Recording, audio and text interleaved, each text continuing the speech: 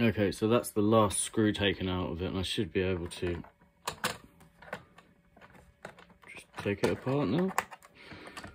Or maybe, uh, oh, okay, yeah, it's just a shell, it's just a super shell over the top. Maybe it's easier if I take the shell off first. Or maybe there's some, oh, okay, all right, wicked. Oh, this is kind of nice, actually. This is, this is the, like, the mark of, like, a really well engineered piece of, like, equipment that Oh my god, look at, okay. I can get a bit of light in there. Can't really, there you go. Oh my god, look, it's so, oh my god, it's so tidy. Okay, it's a bit more um,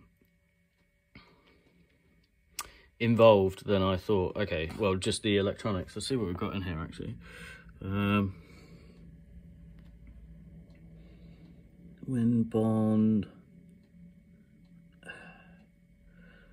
don't actually know what that chip is. That is that codec. Where's the codec? The PCM. Oh my god. Okay, so they've got just like a traditional. I think that's a codec. PCM sort of stuff. I think R codecs. Um.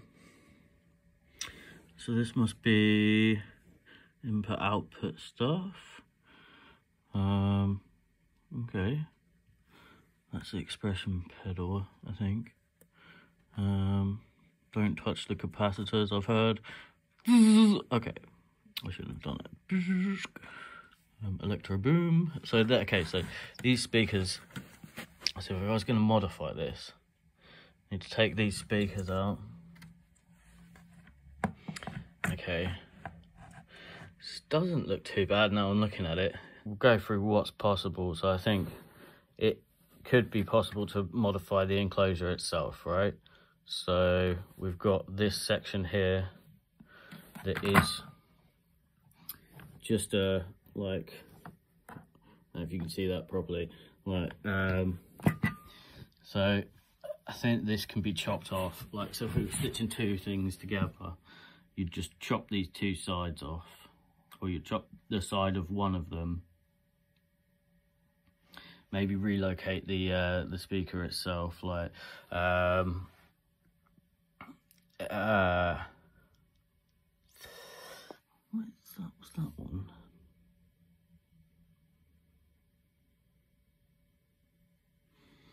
What is that? More than more than anything. Hang on. What is, what is that? That is a big piece of that heat sink for something. But for what? Is that an FPGA in there? I don't know. That's okay. It's, it's secret, basically. It's a big secret box.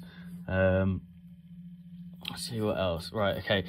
You can just chop this down here. Chop this down here. The the enclosure here will have to be re the refabricated basically this thing on the top and that might be a bit interesting to develop but the things that you can work with are the things that you can work with. Um, well I don't, I don't know. Really don't know. This is frustrating. This is complicated now. Um, okay I thought this might have been no I never thought I'm an idiot. Taking this out like this screw I'll put it back like um you can't remove this key. I thought, oh, oh, maybe lucky, but you can see at the back it's one, it's one whole entire key bed. Like, um, so if anything, that might need to be removed and then um, modified because that, but that is getting into. I'm really committing to this um, now um, the issue is there's a there's a circuit board just underneath there, so that's going to be brutal. Um, okay, on further inspection, these things are grouped. Oh, sorry, this this space here is similar to that, right? So there's a repeating pattern, like but this one thing at the end is different, right? So they've obviously made this repeating thing. So what I need to do is swap this. I might end up, so I don't need to, oh, so do I need, so, No, right, okay. So it, uh, what I need to do is just like find a replacement for this middle section here, attach it to there, I think. No, because it was still overlapped by a key. Ah, how do I do this? Um, things. This is a longer set, like an actual longer section.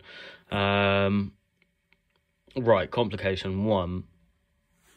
So, um, like so this is it what's on that circuit board so if that if i can take out the the things and then see what's on that circuit board or if there's like any sort of way to offset this circuit board like is it absolutely vital that both of these circuit boards on each of the keyboards need to be like at exactly the spacing. So I'm gonna I'm gonna take apart, see if I can take apart the keys here and see see if it's uh, important. I've had a look down here, and it does actually look like there is some sort of important bit.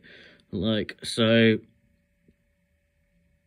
the if I was gonna layer like the other one on top of it, I need to be a little bit careful with that. I'll take it apart. I'll take it apart first, see what happens. Right, okay, man, the, the attention to detail here is wild. Okay, so you've got this little bit of foam here to pad the top, but also you've got this little bit of foam here to like pad the the top of the note. It's so it's so neat. There's a massive, obviously, oh, there's a massive problem here. Um,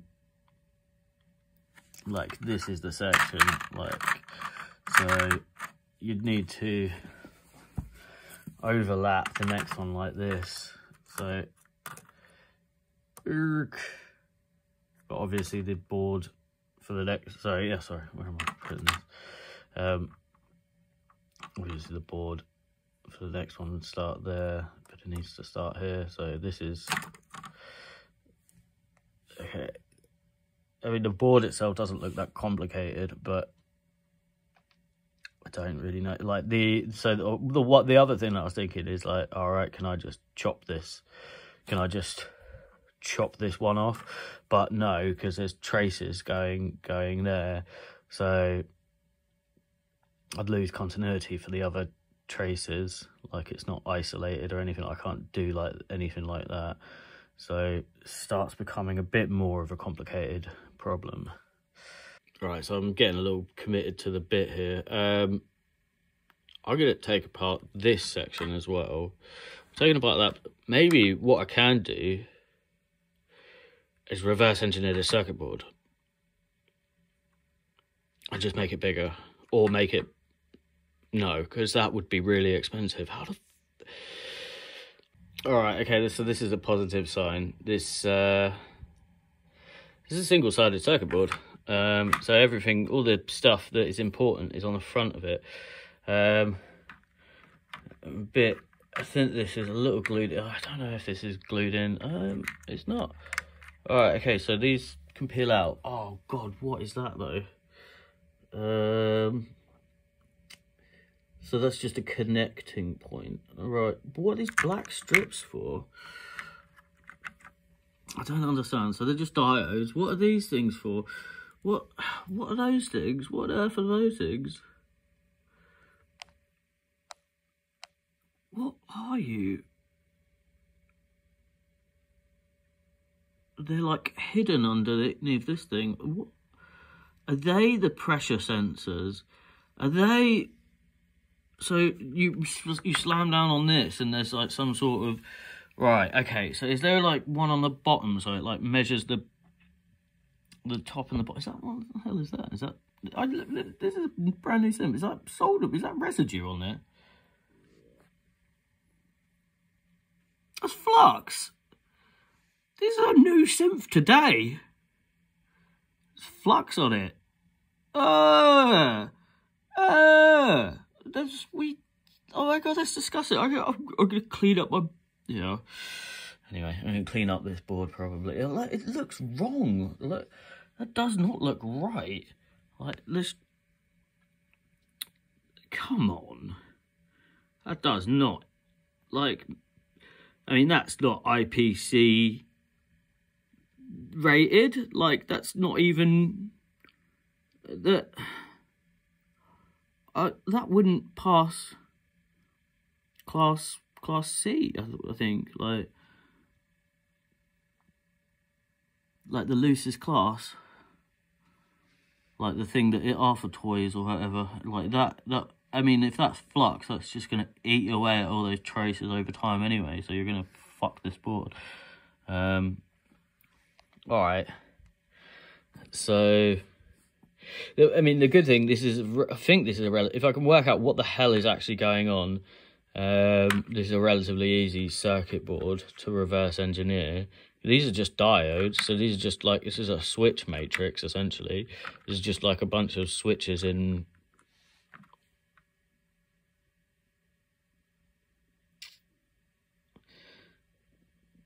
So how, I need to count the amount of pins on these connectors. So if that is, how many pins are there? Are they two pins each? No, that's a single wire, isn't it? Oh yeah, it's a single wire coming off. So how many, how do they multiplex this? So if I just count, like, maybe they've done it in a grid sort of thing.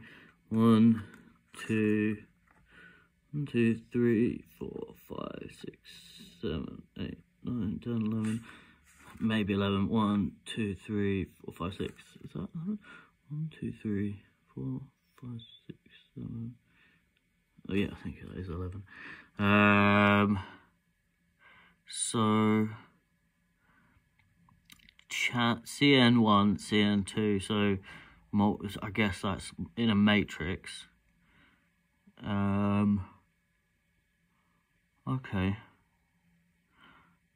I mean, it's durable. Like, what? What are these little nipple things? Oh, right, that's the other, that's the other side of that thing. All right, so I need to make sure that this nipple over here is back in. Um, so set the nipple. Okay, that would probably easier with two with two hands. Okay, I need to do this like another time. Um, oh god, I hope that you don't need a special tool to get these these bloody things back in. Well, anyway, I'm scared. Um, yeah, terrified. Yeah, whoops. I probably wasn't intended to take that many screws out. I think I went a little bit overboard, but yeah, okay. It does work. So you've got control over two different synth engines if you want, like so. Um, all right.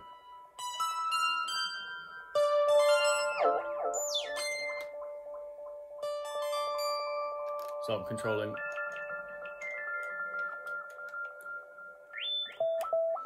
uh, this synth with this controller.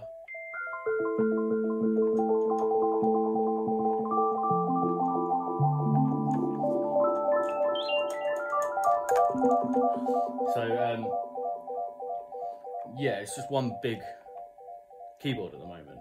So, um, but you can have this engine as a separate sound um, as well.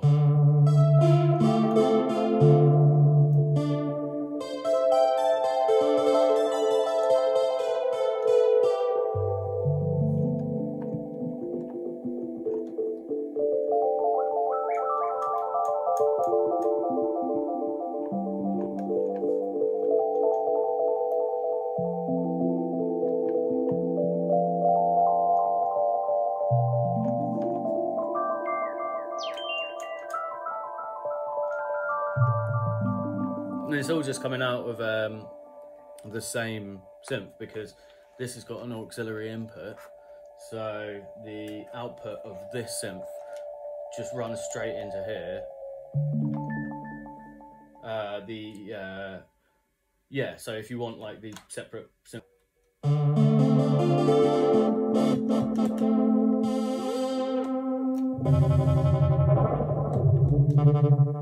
Oh, right, Oh,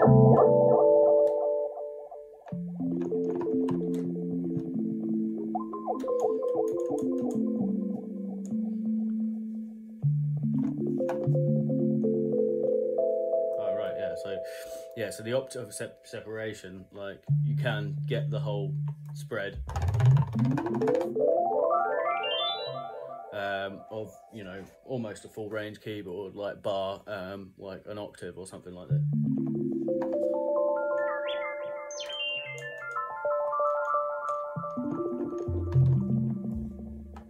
So um, I think it's like this super low octave that you lose. So I think that's good enough as a high note.